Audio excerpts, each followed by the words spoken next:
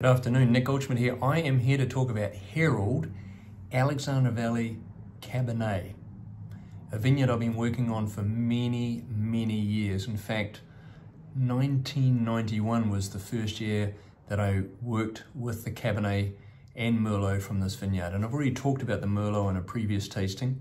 And Cabernet, again, was planted in 1978. So it's an old vineyard, really unique. And when you have old vines, you get this natural balance. So you get small berries, high intensity.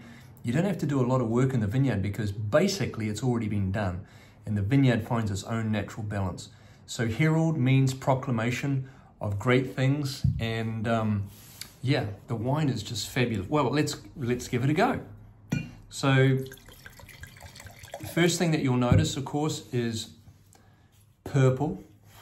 Hopefully you can see that. Lovely, lovely wow. I mean, ultimate Alexander Valley, sort of red fruit, red cherry, blueberry, black cherry, and just get this beautiful sort of uh, forest floor. This is left bank. You know, my favorite left bank appellation is Margaux. So we're looking for something with a little bit more mineral, a little bit more structure, which I think Alexander Valley probably represents better Margaux than even Napa Valley. Yeah, just beautiful.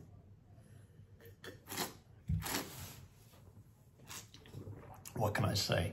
The wine is just absolutely fabulous. Silky, clean, elegant.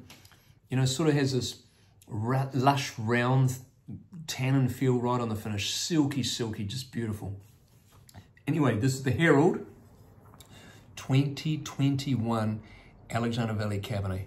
Fabulous. Hope you get a chance to try it. Cheers.